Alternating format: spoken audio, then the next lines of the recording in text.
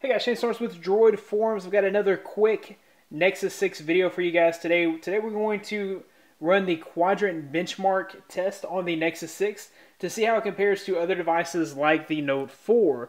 In a previous video that we did on the Note 4, the Note 4 was able to achieve a score of 2300. Uh, let's see how the Nexus 6 matches up against the Note 4. So we'll go ahead and run the quadrant standard. We'll do a full benchmark and it should chew through this pretty quickly.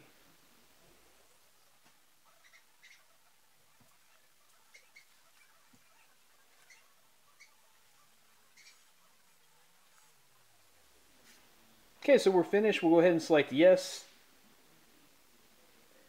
And it looks like we're only getting 13,000 on the Nexus 6. That's quite disappointing. This is running the same chipset as the Note 4, so it should be really similar. We're also on AOSP. The only difference is uh, on this is that this device is encrypted, so that could slow down some of the data transfers.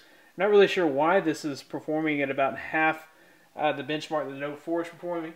Also could mean that the Note 4 has found a way to cheat the quadrant bench scores. Anyways, guys, that about wraps it up for this benchmark on the Nexus 6. If you like this video, be sure to give it a big thumbs up, subscribe to this channel for more content like this in the future. You can find more of me at droidforums.net. Thanks, guys, for watching. I'll see you in the forums.